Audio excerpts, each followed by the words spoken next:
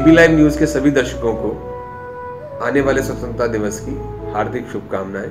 देश के लिए जज्बा, देश के लिए जोश यूँ ही बना रहे। जय हिंद।